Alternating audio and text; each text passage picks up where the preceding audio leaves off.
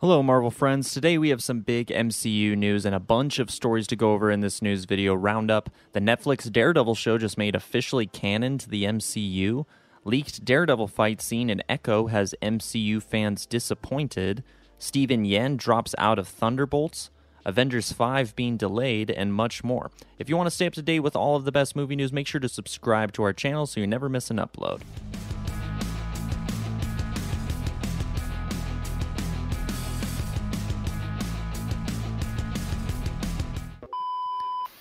Did the Netflix Daredevil series just become canon to the MCU?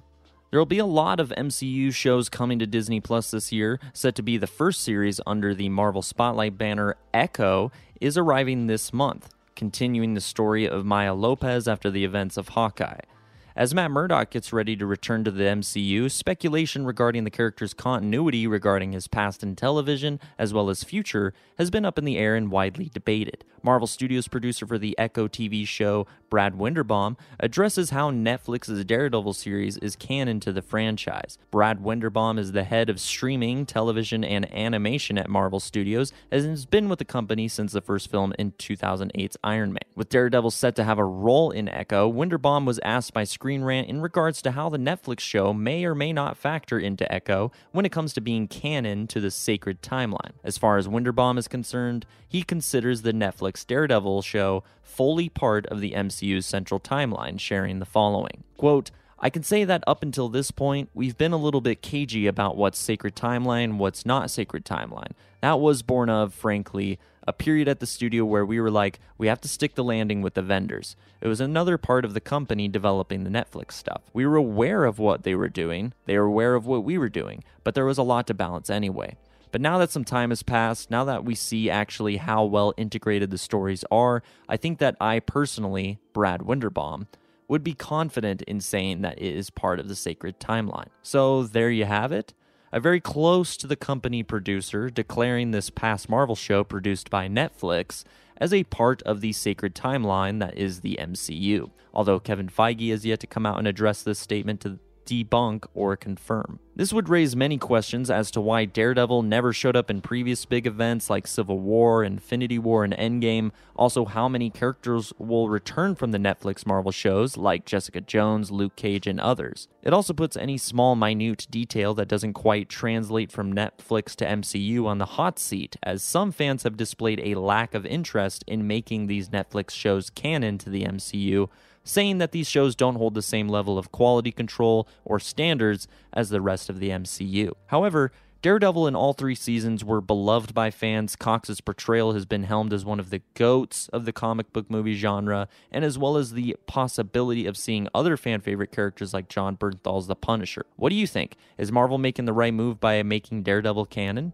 Echo director defends leaked Daredevil scene. In the past number of days, a scene from the upcoming Echo series was leaked depicting a fight between Echo and Daredevil to many Marvel fans' displeasure. Not to the leak itself, but the choreography and filming of the fight scene. Some fans felt that the Echo directors were simply trying to remake Daredevil's famous hallway one shot fight scene, while others criticized the overall choreography of the fight itself, saying it looked like rehearsals or low budget. The director for Echo, Sidney Freeland, has came out and defended the scene, stating, quote, It's one shot, it's six minutes long, and story dictates everything. Maya Lopez enters that scene as a teenage girl, but she leaves as a cold blooded killer. And it was important for me that the audience is able to see that transformation happen in real time. Freeland also teased that appearances by Daredevil and Kingpin won't be the only ones Marvel fans can expect in Echo. She added, There are a number of cameos in our series, and fans of the MCU will see characters from other films and shows that they recognize. But at the same time, you don't have to have done your homework coming into this. People who aren't familiar with the MCU can still come in and watch this. This will be good for the Echo series, as many fans have stated that going into a new show or movie with required homework is tiring, but is the negative conversations regarding the show going to impact its success? The scene itself hasn't gained the negative attention that the She Hulk Daredevil fight scenes did, but this isn't the positive word of mouth the studio would be looking for.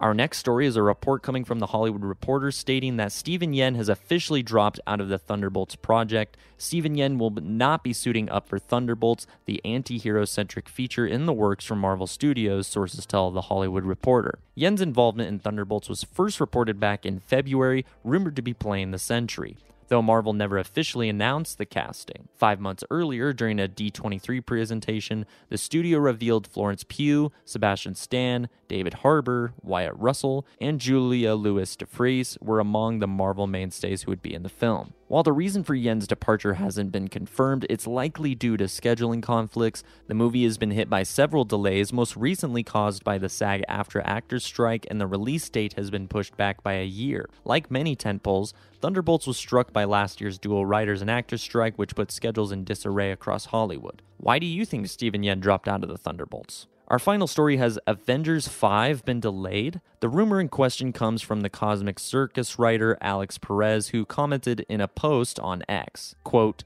Be advised, Avengers 5 is not coming out in 2026.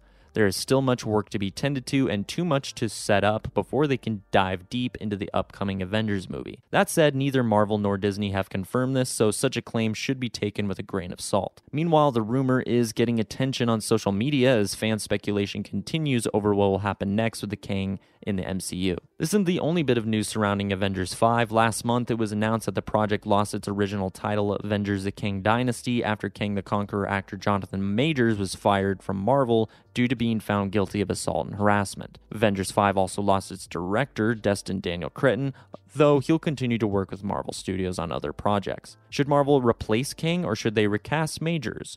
What do you think would be the best for the franchise, and what do you think is ultimately hurting the fifth Avengers movie? Another rumor circulating is that the MCU has already found their replacement for Majors, and that they are continuing forth with Kang as the franchise's main villain, despite conflicting rumors and reports. Previously, Kang was played by Majors in the MCU, and the plan was for the actor to reprise the role for Avengers Kang Dynasty, and according to film scooper Daniel Richtman, acclaimed actor Colman Domingo has been eyed as a potential replacement for Majors as Kang. The actor is best known to Walking Dead fans for his role as Victor Strand in the first spin off series Fear the Walking Dead, and with his acclaimed role in the Netflix movie Rustin, which earned Domingo a Golden Globe Award. Is Domingo the right replacement for Jonathan Majors' Kang role? If you want to know whether or not the MCU should recast Majors as Kang or replace the character altogether, then make sure to check out this video right here. If you enjoyed today's news roundup, let me know by liking and subscribing, and I will keep them coming. Thanks for watching, and have a great day.